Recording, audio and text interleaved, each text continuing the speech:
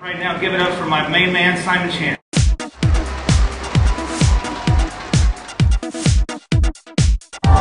Yeah, yeah.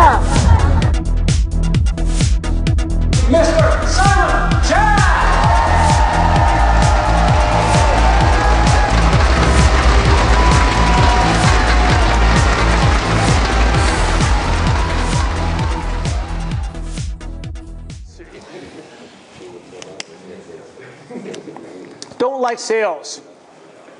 Right. I don't like to sell. Who asked this question? Don't like to sell. A lot of people ask. I don't like to sell.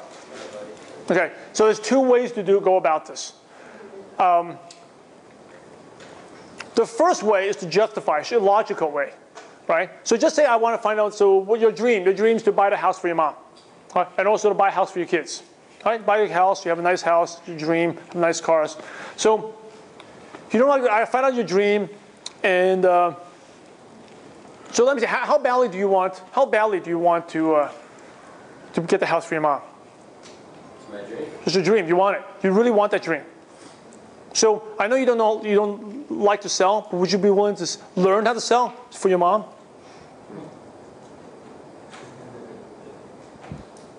Sure. No, no, seriously. If you don't learn how to sell, what else could you do to get the house get the house for your mom? What else could you do? What other options do you have? Let's think of modeling. Okay, but will you be able to buy the house for your mom? No. No. How long would it take? So if you really want it, is it worth it just to learn the sales? Sometimes, do you agree that sometimes in life we got to do things we don't like to do, but for our own good? Right? Have you had it in the past, maybe we were in school or something, you had to do things you really didn't like, but and later on you, you appreciate, you were grateful that you did it? Absolutely. So this is one of those things. You learned how to sell, you can get the house for your mom. Cool.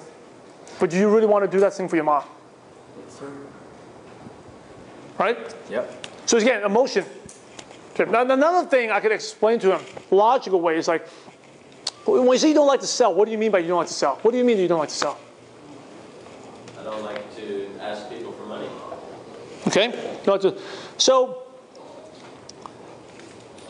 do you realize that we are always, uh, let me ask you, have you ever watched a good movie or uh, a good restaurant told your friends about it?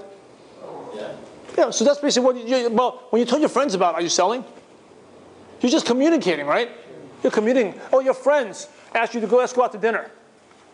All right, let's go hang out this place. Let's go grab a couple drinks tonight at this bar. Right?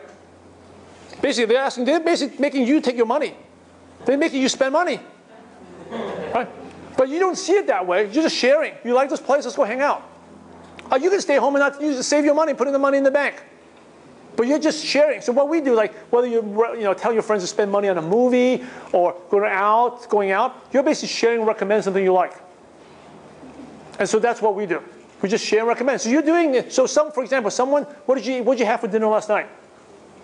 Filet mignon with the lobster on the side. So you have filet mignon, surf and turf, right? So, so someone sold you on that. Why did you leave filet mignon and not sushi last night? Who sold you on that deal? Right.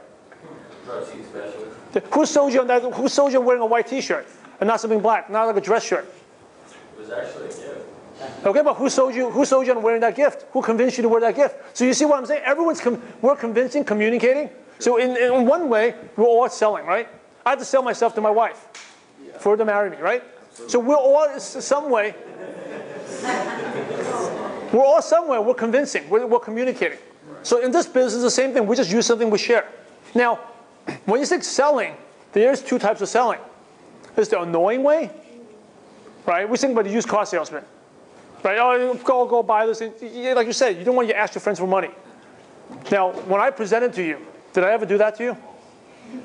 No. So you don't worry about that. You'll be doing exactly what I'm doing. All right? So if you did it a good way, you can always use that line. Did I, was I annoying? Did I push you? To, was I really pushy to you? Did I ever do that? The person will say no. So you'll be doing exactly what I'm doing. Because remember, your prospect always duplicates their, your, their experience with you. Yeah. Right? So if you're not annoying and pushy, you say, you'd be doing exactly the same thing I am. Perfect. Right? Does it make sense to help? Oh, so another thing is, some people want to make big money. Right? If maybe your friends they want to make big money. So I would ask them, why do some people make big money, some people don't make big money? What does it take? Right? Or some people like sometimes you meet a prospect, they want to, uh, they want to have a business. I want to have a business. And So I'll ask them, what does it take, you know, what do you think it takes for them to be successful in business?